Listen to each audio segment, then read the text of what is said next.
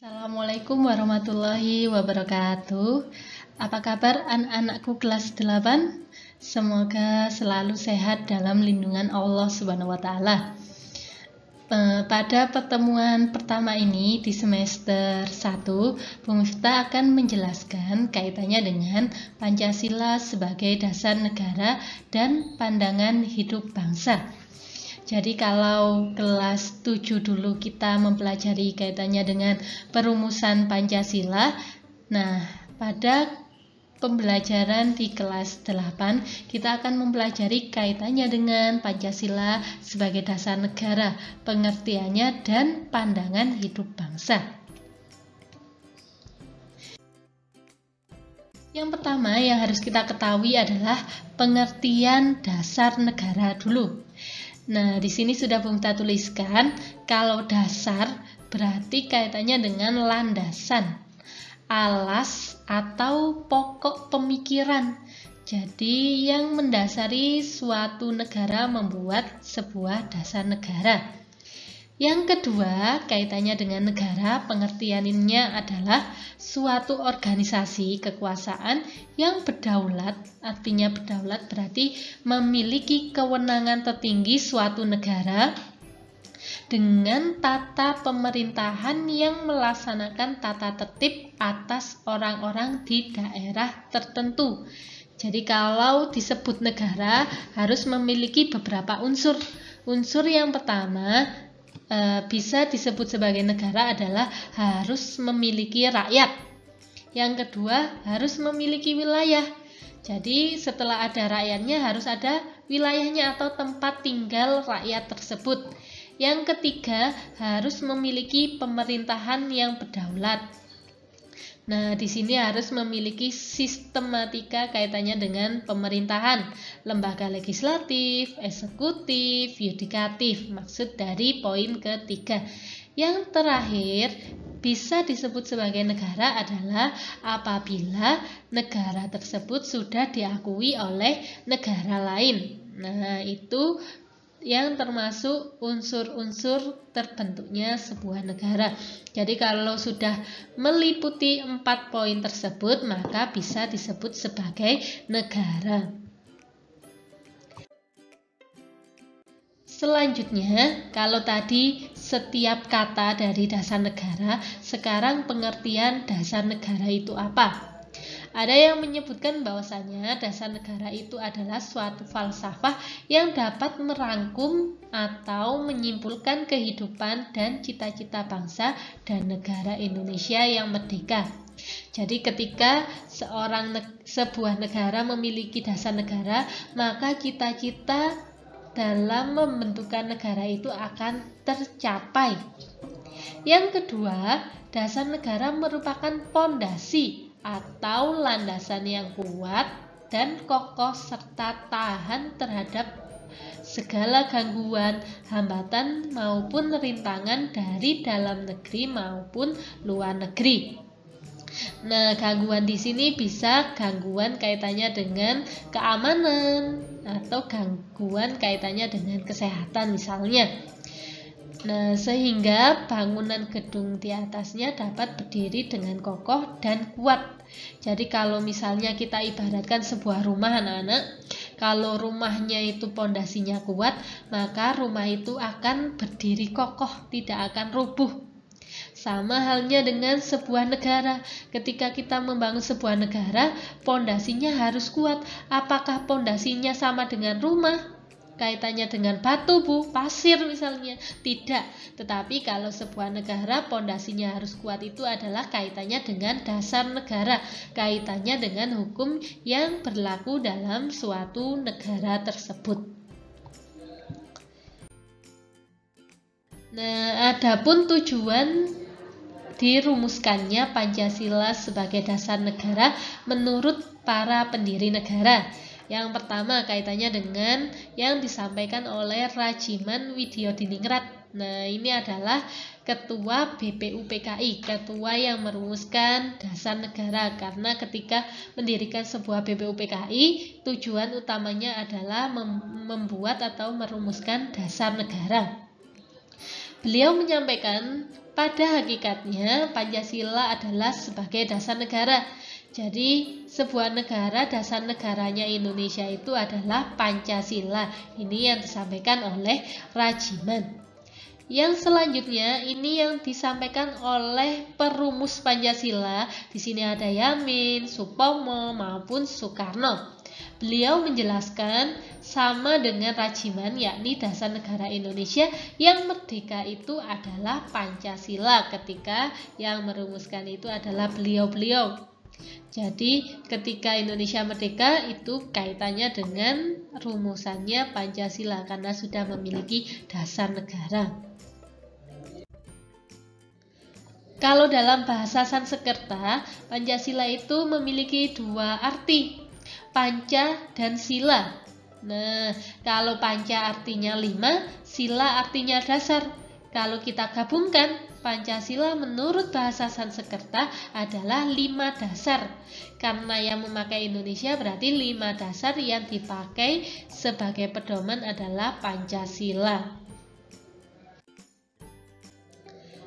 Pancasila juga terdapat dalam kitab Sutasoma yang dituliskan oleh Empu Tantular yang diartikan sebagai pelaksanaan kesusilaan yang lima yakni Pancasila Kerama yaitu tidak boleh melakukan kekerasan berarti tidak boleh membuli bisa fisik ataupun non fisik jadi kalau fisik misalnya kalian memukul Nah, itu kaitannya dengan kekerasan. Tetapi ada juga yang memiliki kekerasan psikis, misalnya dibully tadi dengan mengata-ngatai, mengolok-olok. Nah, ini tidak diperbolehkan. Yang kedua, tidak boleh mencuri. Ini juga sudah dijelaskan dalam agama bahwasanya mengambil barang orang lain itu adalah dosa. Di sini juga dijelaskan dalam kitab Sutasoma.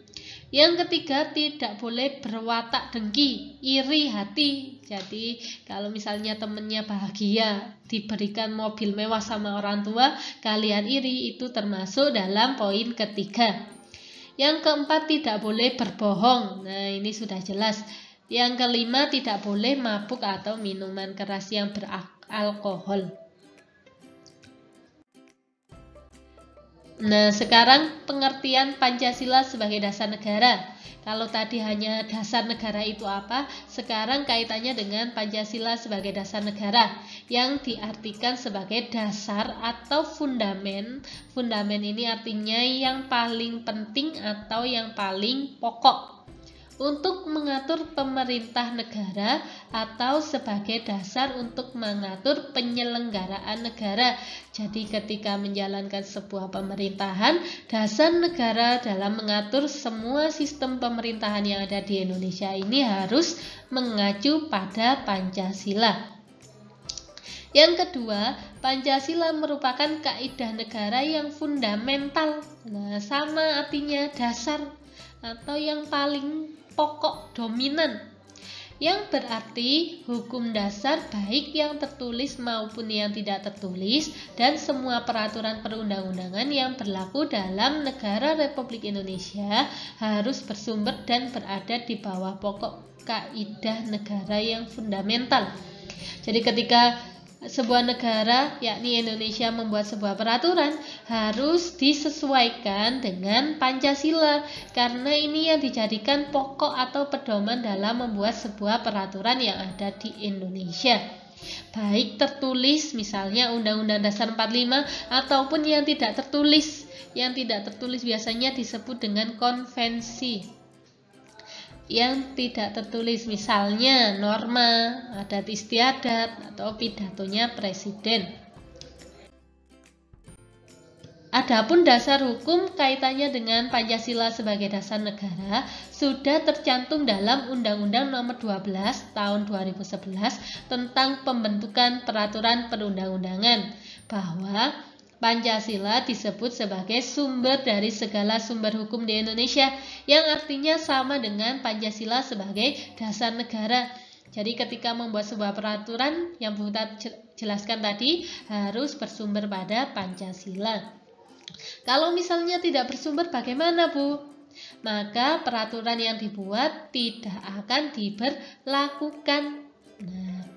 Selanjutnya, dasar hukum yang kedua kaitannya dengan pembukaan Undang-Undang Dasar Negara Republik Indonesia tahun 45 yang terdapat dalam alinea keempat. Di situ tercantumkan isi Pancasila 1 sampai 5. Selanjutnya kaitannya dengan definisi Pancasila sebagai pandangan hidup bangsa. Kalau tadi dasarnya sekarang pandangan hidup bangsa. E, cara berpikir seseorang dalam melakukan sesuatu. Di sini disebutkan poin yang pertama adalah Pancasila sebagai pegangan hidup. Jadi ketika sebagai Pancasila sebagai dasar atau pandangan hidup bangsa, ini dijadikan pegangan hidup yang kedua, Pancasila sebagai petunjuk hidup. Yang ketiga, Pancasila sebagai jalan hidup atau way of life. Nah, ini kaitannya dengan pandangan hidup. Adapun pengertian Pancasila sebagai pandangan hidup bangsa, ada yang menyebutkan bahwasanya Pancasila ini adalah kristalisasi nilai-nilai yang hidup dalam masyarakat Indonesia Kristalisasi berarti penerapan dalam kehidupan sehari-hari. Misalnya sila kedua kemanusiaan yang adil dan beradab berarti pengkristalisasian sila kedua itu adalah tidak melanggar hak asasi manusia yang lain. Yang kedua, Pancasila sebagai pandangan hidup bangsa ada yang menyebutkan artinya adalah bersumber pada akar budaya dan nilai-nilai religius sebagai keyakinan bangsa Indonesia. Jadi bersumber dari agama keyakinan bangsa Indonesia. Yang ketiga, Pancasila sebagai pandangan hidup bangsa dan negara bisa disebut pula sebagai ideologi bangsa dan negara. Masih ingat arti ideologi nak? Ideologi itu berasal dari dua kata, idea sama logos. Idea itu artinya ide-ide atau pemikiran-pemikiran yang mendalam, kalau logos itu kaitannya dengan ilmu pengetahuan. Nah, berarti kalau ideologi berarti ide-ide pemikiran yang mendalam kaitannya dengan pengetahuan karena kita membicarakan tentang ideologi Pancasila, berarti kaitannya dengan ide-ide yang ada dalam setiap sila Pancasila. Yang selanjutnya, Pancasila sebagai pandangan hidup bangsa menurut Karl Marx Ideologis sebagai pandangan hidup yang dikembangkan berdasarkan kepentingan golongan atau kelas sosial tertentu dalam bidang politik, sosial, ekonomi. Nah, di sini disebutkan pandangan hidup kalau kita kaitkan dengan Pancasila ternyata bisa dikaitkan dengan golongan tertentu atau kelas sosial. Kelas sosial ini mohon maaf, ada yang mampu, ada yang tidak mampu itu namanya kelas sosial atau kelas sosial kaitannya dengan jabatan. Misalnya ada yang menjabat sebagai pemerintahan, ada yang tidak menjabat dalam pemerintahan tetapi berkembang dalam bidang swasta. Nah, ini yang bisa menimbulkan dalam bidang politik. Politik itu kaitannya dengan kekuasaan, kalau sosial itu kaitannya dengan hubungan orang yang satu dengan orang yang lainnya dalam bidang ekonomi. Adapun manfaat Pancasila dijadikan pandangan hidup bangsa. Yang pertama, mengatasi berbagai konflik ketegangan sosial tadi yang disampaikan Karl Marx. Jadi, ketika dijadikan pandangan hidup bangsa, diharapkan bisa menghapus diskriminasi sosial. Artinya kita tidak memilih-milih yang kedua menjadi sumber motivasi. Motivasi ini kaitannya dengan inspirasi, motivator kita bisa terinspirasi dari Pancasila tersebut. Yang ketiga, menjadi sumber semangat dalam mendorong individu dan kelompok untuk berusaha mewujudkan nilai-nilai yang terkandung di dalam ideologi itu sendiri. Jadi, bisa mendorong individu tersebut untuk melakukan sesuatu hal yang baik sesuai dengan ideologi yang ada. Selanjutnya, tadi sudah kita jelaskan Pancasila sebagai dasar negara, Pancasila sebagai pandangan hidup bangsa, Pancasila sebagai ideologi negara, sekarang Pancasila sebagai kepribadian bangsa. Kalau kita membicarakan tentang kepribadian bangsa berarti kaitannya dengan ciri khas seseorang. Karena ini bangsa berarti lingkupnya lebih luas manusia yang ada di Indonesia. Nah, di sini disebutkan ciri khas bangsa negara yang membedakan dengan bangsa lain yang ada di dunia. Nah, Bung kita contohkan di sini ada gambar I love batik. Berarti kalau e, menunjukkan ciri khas bangsa Indonesia, kita bisa melakukan dengan menggunakan produk dalam negeri misalnya kalian memakai batik dalam negeri berarti kalian sudah mencerminkan Pancasila sebagai kepribadian bangsa. Di sini juga disebutkan ketika ciri khas itu tercemin dari sikap kalian, tingkah laku, perbuatan yang senantiasa selaras, serasi, dan seimbang sesuai dengan nilai-nilai Pancasila tersebut. Demikian yang bisa Bungta jelaskan kaitannya dengan tiga poin tadi. Sudah Bungta jelaskan pengertiannya kalau Pancasila sebagai dasar negara berarti kaitannya dengan untuk mengatur penyelenggaraan negara. Sedangkan Pancasila sebagai pandangan hidup bangsa berarti kaitannya dengan pencerminan dalam kehidupan sehari-hari. Sedangkan ciri khas atau kepribadian bangsa bisa kita lakukan dengan menggunakan produk dalam negeri tersebut. Demikian yang bisa Bunda jelaskan. Apabila ada yang ditanyakan, kita lanjutkan di Google Classroom. Boleh kalian nanti apa namanya bertanya kaitannya dengan tema yang Bunda jelaskan. Nah, pertemuan selanjutnya kita akan membahas kaitannya dengan nilai-nilai Pancasila. Sekian dari Bu. Apabila ada yang ditanyakan, silakan tadi langsung ke GC. Wassalamualaikum warahmatullahi wabarakatuh.